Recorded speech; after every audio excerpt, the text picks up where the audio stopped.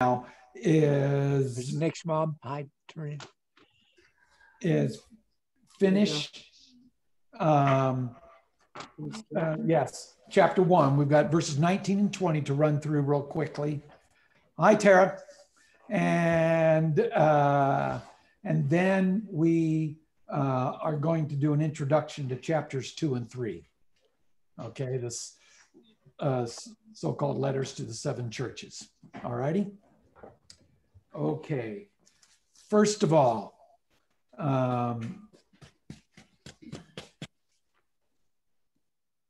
Sheila, would you like to pray for us? Um, I have to unmute to do that. Okay, sure. Or oh, the dog's barking? I'm sorry. No, they're quiet now, but I can't guarantee they won't bark. okay. Lord God, thank you for this day. I um I just thank you for the the service this morning and all that we learned. It was um, such a compelling message. Uh, I just uh, thank you for um, sharing with us what we so desperately need in this particular time. I thank you for the study tonight and for um, for Mike leading it. I thank you that the um, electronics are working and that we can all come together and uh, we can learn and encourage one another and uplift one another. I just pray that as we go through this study, Lord, that that your Spirit will be on us, that we will hear your word, we will grasp your truth, that we will get encouragement and uh, comfort and um, just be convicted, Lord, to share your gospel truth even more than, than we have, because the time seems to be drawing very near, Lord. Um, thank you so much for this time. Thank you for our opportunity to get together and fellowship in Jesus' name. Amen. Thank you, Sheila. Um, so let me start off by reading verses 9 through 20 in um, John 1. Uh, that's that's uh, the vision. Uh, and uh, we're in, we're going to finish verses 19 and 20. So I want to read that section. So John writes, chapter 1, starting verse 9 I, John, your brother and partner in the tribulation and the kingdom and the patient endurance that are in Jesus, was on the island called Patmos on account of the word of God and the testimony of Jesus. I was in the Spirit on the Lord's day, and I heard behind me a loud voice like a trumpet saying, Write what you see in a book and send it to the seven churches to Ephesus and to Smyrna and to Pergamum and to Thyatira and to Sardis and to Philadelphia and to Laodicea. Then I turned to see the voice that was speaking to me. And on turning, I saw seven golden lampstands, and in the midst of the lampstands, one like a son of man, clothed with a long robe and with a golden sash around his chest. The hairs of his head were white, like white wool, like snow. His eyes were like a flame of fire. His feet were like burnished bronze, refined in a furnace. And his voice was like the roar of many waters. In his right hand, he held seven stars. From his mouth came a sharp two edged sword, and his face was like the sun shining in full strength. When I saw him, I fell at his, feet as though dead. But he laid his right hand on me, saying, Fear not. I am the first and the last and the living one. I died, and behold, I am alive forevermore, and I have the keys of death and Hades. Write, therefore, the things that you have seen, those that are, and those that are to take place after this.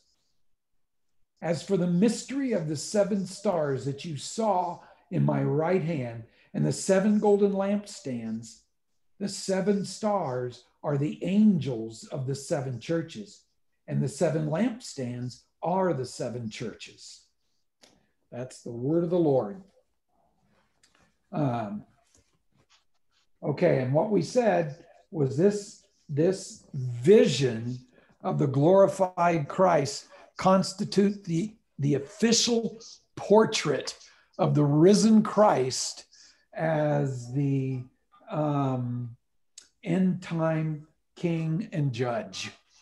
And um, we spent lots of time going over that. But we ran out of time last week to um, look at verses 19 and 20, uh, which are Christ's instruction about the vision. In verse 19, uh, he said, Write therefore the things that you have seen, those that are, and those that are to take place after this. Uh, and this verse has been interpreted different ways. Um, one of the popular ways of interpreting this verse is to use it as an outline of revelation, treating this as um, uh, an, an eschatological program, an outline of future events. Um, and they interpret it this way the things you have seen equals past things. That is chapter one. They say uh, things you ha- uh, things you have seen is in chapter one.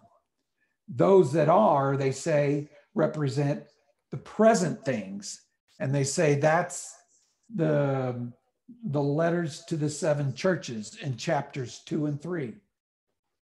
And then those that are to take place after this equal future things, uh, which they cite as chapters four through 22. Um, the problem I have with that, and I'm not the only one has a problem with that outline, is that when you read the text, you read the verse, there is nothing in the text that requires us to read it as such a strictly chronological program. Nothing like that. Um, as a matter of fact, uh, the letters to the seven churches include things that were current then and things that were going to be future.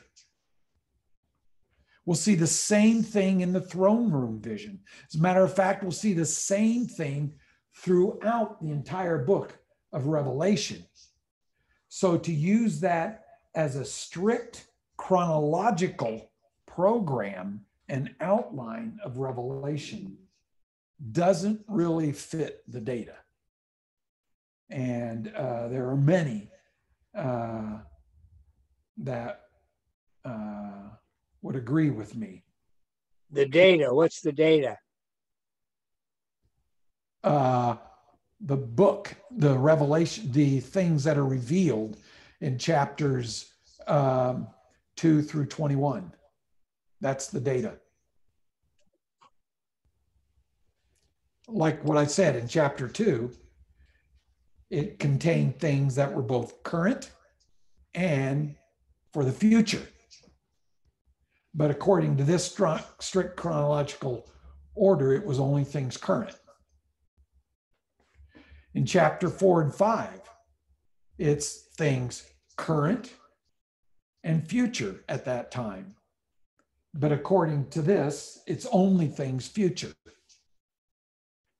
As a matter of fact, 16 through 21, well, in particular, uh, uh, I'll say 16 through, I mean, 6 through 18, we're going to see there's things that are both past, current, and future. By that you, uh, Mike. By that you mean chapters, right? Chapters six. Through, okay. Yes. Okay. Yes. So all I'm saying is we'll see as we go through these chapters that there are things that that the things mentioned, the things referred to, don't fit in this neat chronological outline. Chapter one are things past. Chapters two and three are things current. chapters 4 through 21 are all things future. It just doesn't fit that neatly. And so there's got to be another explanation to it. And uh, and there's there's several es- uh, um, explanations. One can be that he's just saying he's just referring to the visions, not the events in particular. He's saying, um, write what you're seeing in this vision, write what you see in the subsequent visions. It can be as simple as that. That would still fit with verse 19.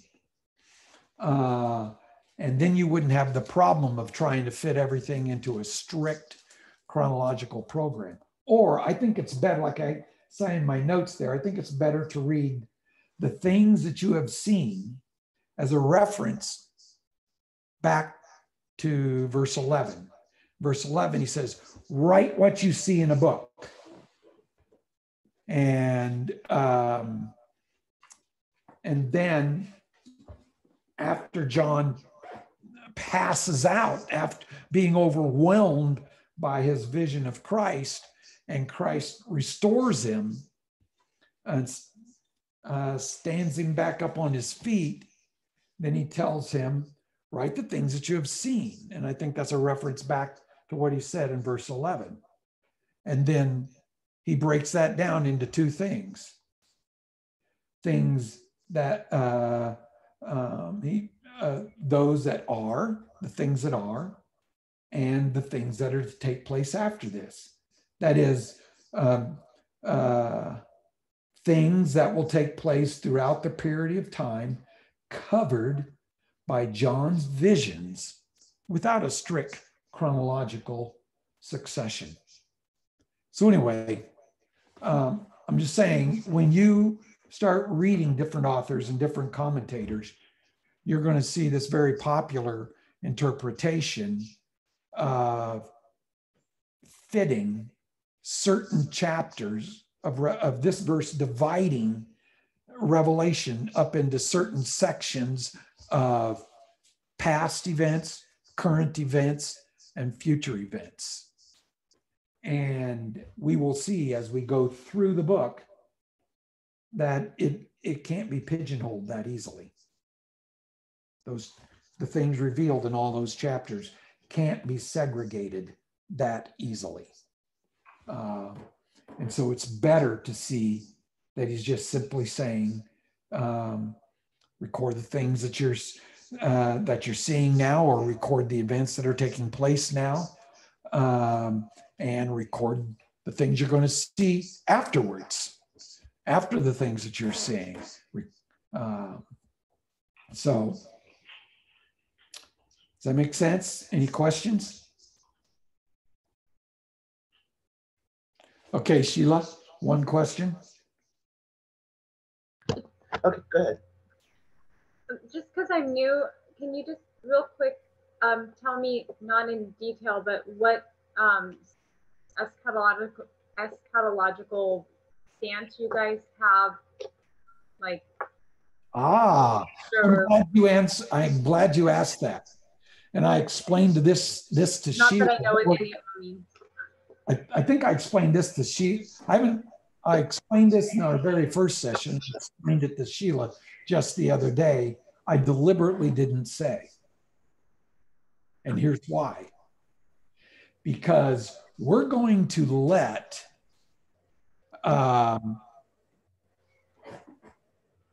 two things determine how we interpret the book as we go. And those two things are uh, we're going to be asking, or we're going to keep asking ourselves the question how would the first readers take this? How would it impact them? How would they interpret it? Just to give you a wild example, um, first century Christians would not interpret the locusts with tails as Black Hawk attack helicopters. Okay. Uh, so that's what I'm talking about. Instead of in our 21st century, at our 21st century vantage point, going through all the options of what we could, of how we could interpret this symbol, we should ask the most important question is to ask what the first century readers, uh, how they would read those symbols. Okay. So that's the first uh, um, item that we're going to be using to interpret uh, the book. The second thing is to keep in mind what kind of text we're dealing with.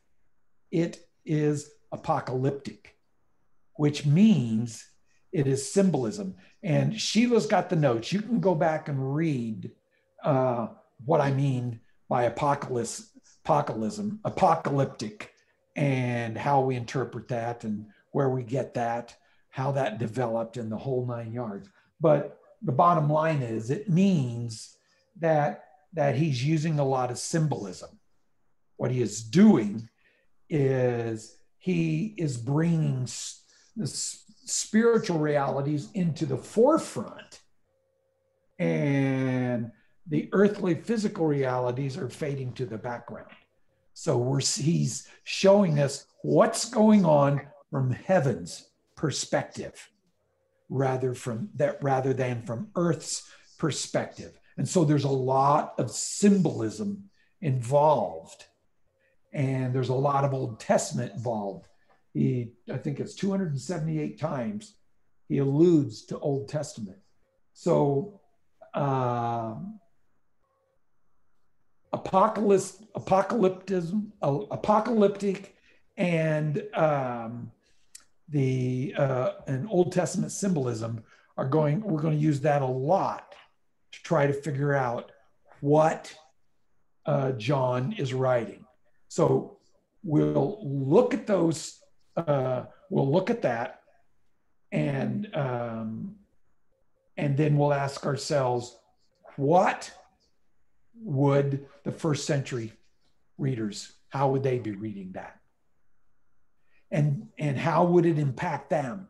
Then, having done that, we are in a position to figure out how this relates to us what kind of impact it should have on us today. And then when we get to chapter 20 and the first 10 verses, we will be in the position to say, hmm, should we be dispensational premillennialists? Should we be historic premillennialists? Should we be amillennialists? Should we be postmillennialists?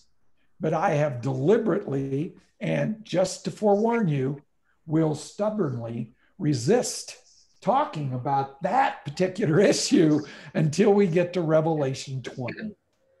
I think that's a better way to approach it. Let's not talk about the systems at the outset, pick a system and try to lay it over the book. Let's go through the book and use two main issues uh, to uh, systematically interpret the book and then uh, bring up the issue of millennialism when we get to the millennium in chapter 20. So that's my answer to the question. And I hope that's not too dissatisfying. I know it may be disappointing or maybe even a little frustrating, but I really think it's important uh, that we don't prejudice ourselves uh, because then as we go through the book, we're always going to be trying to fit this passage into a certain pigeonhole because of the system that I'm uh, um, already leaning toward. Does that make sense? Mm-hmm. Okay. Great question. Okay. Uh, Phil's saying something. You're muted, Phil. Uh, you enumerated all those and you said you had a favorite of those you enumerated? Did, did I interpret? Just give us a little edge on that. Did I interpret that right? Favorite of what? Well, you nu- enumerated all the approaches, but you didn't say all of the above. Oh, you mean all of the systems? Yeah, right. Dispensationalism and all that. You, And but so- you did say you had a favorite. And so your question is, what is it? No, I won't ask you to reveal it. I just want to know as you go through Of this, course. do. Like we all, like all of us, I go into this with a lean already, with the previous lean. I have changed my lean. Um, but uh, uh, I have a lean. But I feel the, the, the most difficult thing in interpreting the Bible is being objective. Yeah. That is the toughest uh, issue in in um, Bible interpretations, being objective. So we're going to go with without laying out the systems and privately uh, latching onto one. We're going to go through the book and only look at the systems when we get to chapter twenty. Okay, that does that does not erase the leans that each one of us go into this study with. But uh, it does it does safeguard much of our discussion of the book as we go through that from trying to pigeonhole it into a uh, to a certain way or t- into a certain category. So anyway. Uh, great question and now you know what what I've seen reporters do to people is they keep asking the same question over and over, various ways, trying to get the person that they're interviewing to slip. so, in order to to uh, uh, forestall that, we're going to move right on to verse 20. Uh, okay. In verse 20, Jesus says, As for the mystery of the seven stars that you saw in my right hand and the seven golden lampstands, the seven stars are the angels of the seven churches, and the seven lampstands are the seven churches. Not much controversy um, about the seven golden lampstands. What do they signify? What does verse 20 tell us that they signify? The churches, the seven, the, the, the churches in those seven cities. Okay. Why just seven of them? I mean, these seven are in Asia Minor, but as I've pointed out, there's church in Troas, church in Colossae, church in Hierapolis. Those are all in Asia Minor, fairly near these three. I mean, Hierapolis and Colossae is very near these three, very near Laodicea. Um, so, um, why just seven? Well, those churches are the main, the, uh, the main church, but they're the little churches that con- connected to them. No. Oh, What uh, did he- what Julie did you asked- say, Mike? asked if those seven churches are the main churches and that the others are um, smaller churches attached to them. Nope, that's not the answer. As a matter of fact, uh, we're going to see something, we're going to return to the significance of the seven churches later in just a few minutes. I But think you shared with us before, Mike, that they, the issues in these churches were, if you superimposed them on the, on the, that part of the worldwide church network, network, these issues would be covered in them. I think that's kind of what you said. Yes, yes. Uh, but the main thing is that the word, that the number seven Oh, yeah. apocalyptic literature, uh, and Old Testament symbolism as far as that goes too. The number seven is very symbolic. And numbers in Revelation are very symbolic. In apocalyptic literature, uh, that's one of the one of the big ish, one of the big features is they use numbers symbolically. And so seven in the Old Testament and in apocalyptic literature stands for completeness. So the seven churches stand for all of the churches. Now, and we will see in chapters two and three a confirmation of that because when he goes through the the letter, the message to each individual church, he's talking in each of those different messages, he's talking to that individual church. And yet, the very last thing he says is, uh, let those who have ears to hear hear what the Spirit says to Ephes- uh, Ephesus? No, all the churches. So all of those letters are, all of those uh, messages are um, are sent individually to those churches, but not privately. They're also meant for all the churches. And that uh, couples very nicely with the fact that the number seven means completeness. And so that the seven churches would represent all the churches. Okay, does that make sense? So, so Mike, uh, would so to the seven churches because it says like the church of Ephesus. So, like, what would other churches know about these other churches? Oh, yeah. Oh, Yes. okay. Yes, they would have. That's embarrassing, or I guess not. Maybe for the church. Um, yeah. Well, there's one good church out of here. I think that's. I don't know which one it was, but There's two. oh, okay. Talk about that in a minute. So Okay. Mike? Would see the letters from each other that were written to each other church. Yes. Pam asked a good question. She said, so each of those churches would see the letters to the other churches. See, we're already in chapters two and three. And what we're going to see is, well, even if you go back to verse 11 of chapter one, he says, write these things that you see in a book and send the book to those seven churches. Um, chapters two and three are only part of the book. So the whole book will be sent to all seven churches.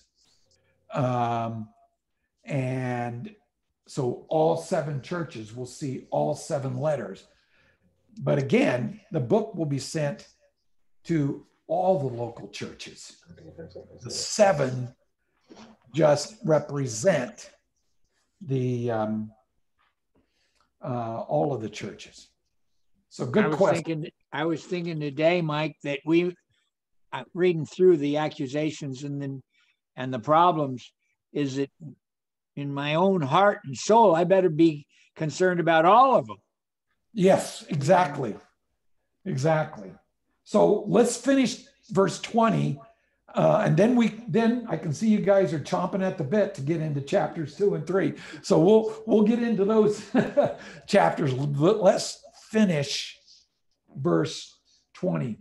We we talked about extensively last week uh, that the significance of Christ standing in the midst of his of uh, the seven churches means that Christ is present uh, amongst all his churches. But it also means, since he's present, he sees everything that's going on. Everything. He doesn't miss a thing. He knows it all. Oops. But that also means he knows exactly what we need. He knows exactly how to take care of us. And that's the point. Uh, that's one of the points of the messages to the seven churches. But what about seven stars?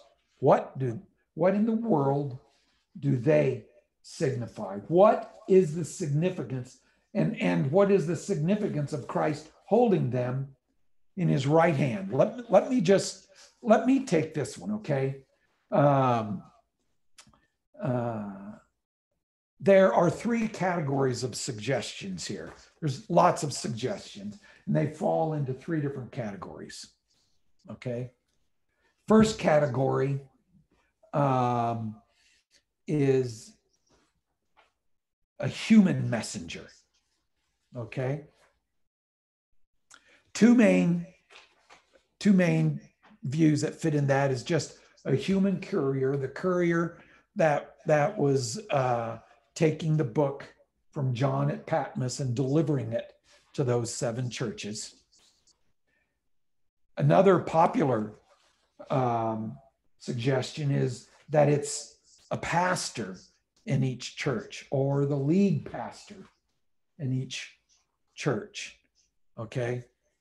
That's one category uh, of options. We'll, we'll evaluate them in just a moment. Okay. That's one category. It, it refers to a human messenger, the star does. Second category might be a little bit more esoteric.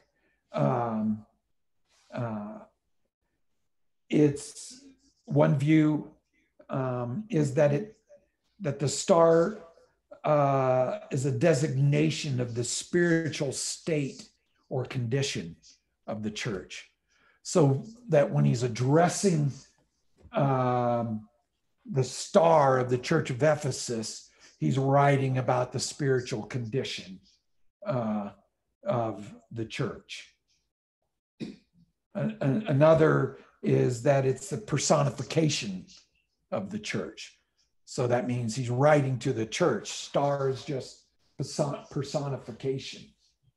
And they're pers- he's personifying the church by a star so that we can see the stars in his right hand. Okay. So those two constitute another category. Okay. Like I said, those are a bit more esoteric. Then, least, but certainly not, I mean, last, but certainly not least, and not surprisingly, there is a view that it says that these stars are actually angels okay? That these angels of the church are actually angels. Uh, uh, and so, how do we decide between these three views? Let me just uh, give you one data point that I find absolutely compelling uh, and that is angelos, the Greek word for angel, is used 75 times in the book of Revelation. Every other use of it in the book of Revelation, without exception, refers to actual angels, spiritual beings.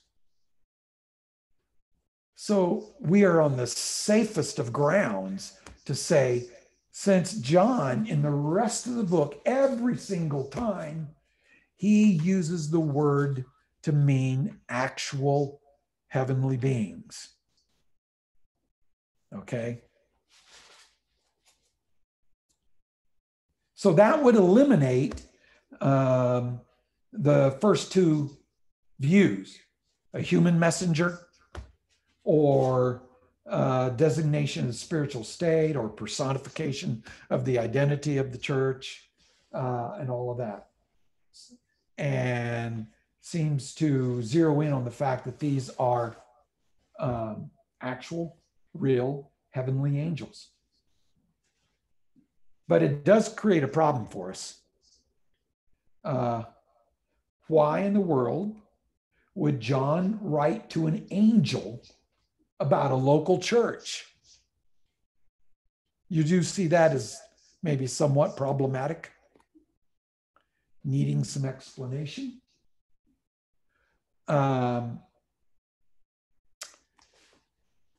we don't know for sure because John does not share about share a bunch of information, but there's there's three lines of ar- argument here that we can see, or three examples that we can look at uh, that I think give us a good idea of why he's calling them.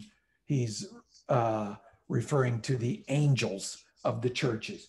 One, the first example is in the book of Daniel, book uh, uh, chapter 10, verses 12 through 20. And you, uh, Daniel had just prayed in chapter 9 uh, about um, Israel's deliverance from Babylonian captivity because he was reading in the book of Jeremiah and saw that the time for the captivity is just about up. So Dan Daniel is fasting and praying, and um, and then in chapter ten we have this spirit being uh, in the first uh, ten or eleven verses that comes to Daniel, and and uh, and then he tells Daniel in verses twelve through twenty why he was delayed in uh, giving Daniel the answer to his um, prayer. And that is um, this angel. And from previous data in book of Daniel, we're told that that uh, we, we figure out that that Daniel's pro- that angel is probably Gabriel. Gabriel was delayed because he was battling the um, prince of uh, Persia. Now, he doesn't, now, um, in that passage, he, uh, he, well, anyway, let me just go on. He's, he's, he was battling the prince of Persia, and he says, and Michael, uh, another arch, uh, an archangel, uh, the prince of Israel, came and helped him. So he was able to come to Daniel and give Daniel his the, the God's answer to Daniel's prayer. And he says, and then after he gives the answer, he's got to go back because the prince of Greece is coming. And uh, he's got a battle with that prince. And he's referring, he's referring to demons. And so um, we're not, that does not mean that, that there are, that there are territorial spirits that, uh, that, that um, uh, Persia or Greece or Sacramento uh, or Moscow or anything like that, that, that there, that there are demons that own that territory. And so, if God's going to get anything done, they've got to battle the demons that own that territory. Uh, and you don't go and um, uh, cast out the demons from that territory. It's not what he's talking about. What's going on? These are these are empire spirits. These demons are empire spirits, meaning they are demons that are trying to influence the decisions of the rulers in those countries. And Gabriel was trying to influence these rulers as well in different ways. So there's a battle going on for influence over over the uh, uh, the uh, rulers, and like Solomon says, um, that the king's heart uh, is in in God's hand, and he like he like water, he directs it whether uh, whatever direction he wants. Okay, so the demons, the empire spirits, are actually fighting a losing battle. God just dispensed Michael, uh, uh, and Michael helped Gabriel, so freed Gabriel up uh, and um, they prevailed. I don't have time to go into all of that spiritual warfare um, teaching. It's fascinating, but uh, that's what's going on there. But it gives us a hint. You know, we're also told there that that Michael is the prince of Israel, meaning that he's identified with the protection of Israel and the welfare of Israel in some way. And we see that uh, in Daniel 10, the way that worked out is God dispensed him to uh, Babylon to um, help Gabriel with the empire spirits there, the prince of Persia, uh, so that uh, Gabriel could go minister to Daniel. We see another example uh, in Matthew 18, verse 20. Uh, uh, just real fast. Um, I did not think we're going to spend an entire session on these two verses. This is this is incredible. But some people last week warned me that we might. Uh, To know all, all this, you know? yeah, yeah, yeah, yeah. You're right. Um, look at verse 20. He says, is it verse 20? 18, 20? What are you looking for? Oh, 1810. Sorry. Matthew 1810. Uh, the parable of the lost sheep. He says in verse 10 See that you do not despise one of these little ones, for I tell you that in heaven their angels always see the face of my Father who is in heaven. Now, Jesus's point here isn't that, that everybody has a guardian angel. But his point is that that angels that come to the aid of these little ones see the the face of the are in the presence of the father so um, the point there is that the father dispenses them whenever needed to give aid to them to give aid to the little ones. Uh, also in what is it hebrews 13 we're told that people have entertained angels unawares. It's the same thing. As a matter of fact uh, in hebrews chapter uh, 12 verse 14 um, the author of hebrews concludes that angels are ministering spirit chapter 2 verse 14 not 12 but chapter 2 verse 14 he concludes that angels are ministering spirits sent out by the Father to minister to the elect. Okay, you see that? So I think what's going on here are angels. Uh, we don't we don't see from our earthly perspective, we don't see God dispensing angels as ministering spirits spirits to aid his people. But now this is apocalyptic literature now. So now we're seeing it from heaven's perspective, right? And, and so now we see a reference to the fact, to the angels that God sends to give aid to his people. Does that make sense?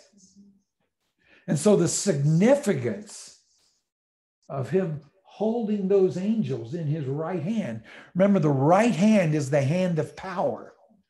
And so the significance there is, is he is holding, um, uh, he is communicating to the churches. And these first century readers would definitely have picked up on it. They know that stars represent angels, heavenly beings um, they would have picked up on that and they would have been very aware of how God uses angels to minister to his people. So, what that would communicate to them is uh, the very aid that God sends to these church, to these individual churches, to all the churches are uh, under God's sovereign, powerful control. He is in control. So that's the point there. This, this, he, the point there is that Christ, the glorified Christ, is present in the midst of all of his churches, and he is in absolute total control of all the of the things that happen to the churches and of all the aid that is rendered, all the spiritual aid, physical aid, whatever, any kind of aid that is rendered to his people. He's in charge of it. Okay. That's part of the picture that's meant to remove fear from us, to encourage us, to embolden us. Okay. So after that, five minutes, we've got what, 40 to spend on chapters two? I'm joking. Uh, um, let me, we, we've got five minutes. What I want to do is I just want to read Dennis Johnson's introduction, part of his introduction to um, Revelation, to these two chapters, to these messages, to the seven churches. Um, I've I've looked at a lot of stuff, and what I try to do is pick out some of the stuff that I think I what I quote is some of the stuff that I think is really good and and helpful. And I think Johnson just does a brilliant jo- job in his little commentary on Revelation. Um, uh, he does a brilliant job of showing how relevant these messages are to us. Uh, and so I'm just going to I'm going to read this at length. That'll give you a teaser for next week uh, for chapters two and three, and maybe get prime your pump. You can work through these notes and uh, um, and all of that. So let me just read these. Uh, Johnson, by the way, he uh, is a New Testament scholar. Uh, he teaches at Westminster West down in uh, Escondido, um, uh, San Diego County. Um, and he teaches practical theology. Um, and this, this opening sounds like a guy who teaches practical theology and, and homiletics preaching. Uh, I just think he does a good job, so why reinvent the wheel? Um, he writes this West Coast churches face a variety of challenges. Their environment is anything but friendly to vibrant Christian faith. Some churches, located in self sufficient, affluent communities, are tempted to pursue personal peace and a comfortable lifestyle, relying on the financial re- their financial resources for security. Others are stained by the scandal of sexual immorality. Some are stigmatized by their community as aloof and intolerant of other viewpoints. After all, the populace and politicians of the West Coast finding it expedient to cultivate the favor of power brokers in the distant capital, show their loyalty to the system through a civil religion unencumbered by personal convictions. Some churches are experts in doctrinal precision, but amid the theological wars, they lost their capacity to care for the hurting. Others are unclear about where to draw the line that define the essentials of the gospel as they adapt their messages to the culture in order to reach out or fit in, reach out to or fit in with non Christians. Some churches are all image and no reality, lacking spiritual vitality despite an impressive array of activities. Others are a tiny minority struggling to hold on in the midst of a community that ignores or despises them. These West Coast churches sound stereotypically 21st century Californian, don't they? In fact, however, this is a sketch of the situation, strengths, and weaknesses of the West Coast churches in Asia Minor in the first century to which Jesus addressed his revelation through John. Pretty, pretty amazing, isn't it? See, uh, that's why we keep saying we need revelation now. We need to understand what revelation is all about now.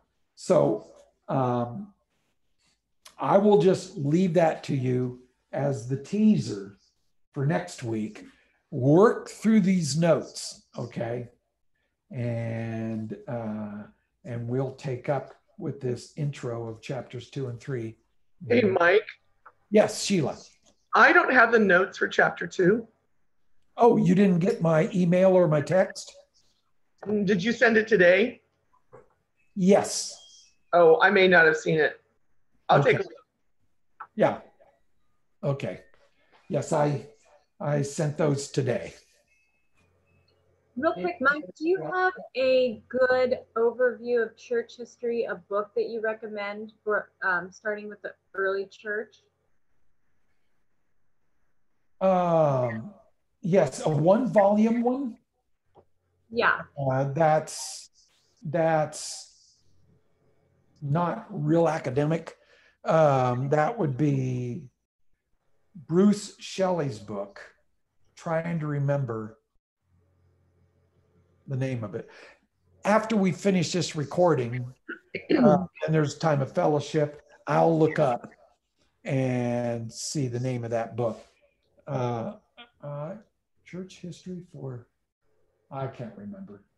I can't remember. It's not church history for dummies. well, I wrote down Bruce Shelley, so I, I can probably. Yeah, if you go on, if you go on um, uh, Amazon and just search on just church history by by Bruce Shelley, Yeah, I I think believe you can find Shelley it. is S H E L L E Y. I got it. Thanks. Yeah, okay. In plain language. Plain language. There you go. Yeah, church history in plain language by Bruce Shelley. Thanks, guys. There may, I- there I did not get an email. Pardon? I did not get an email. Wow. Did you get my text? Text. Ask if she has Gmail. You have No. Gmail, right? You have Gmail, right, Sheila? Right, the Gmail. I got, I got it. Um, I got what you sent last week or the week before, but I didn't get anything today or this week. Oh, yeah, she was in a group. Okay, let's, let's, let's finish this up real quickly. Let's pray and finish up. Uh, so Deepak can stop the recording. And then I've got a question to ask you, Sheila, and to everybody in general. Uh, okay, um, yeah. Um, so, uh, Ian, would you like to uh, pray for us? Close us in prayer? Sure, I can.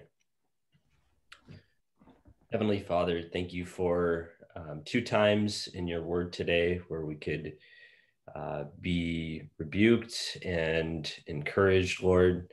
Pray, Father, that um, what we heard wouldn't end with our um, learning today, but would be put into um, action continually. Father, I pray for this coming week as we prepare to uh, fulfill our callings in life, that you would strengthen us, that you'd uh, keep us from temptation, that you'd give us the comfort of your spirit and a continual rejoicing in all that we have in our union with Christ. So uh, strengthen us for this week that we might glorify you. In Christ's name, amen. Amen. Okay, Deepak has Yes. stopped the. Uh,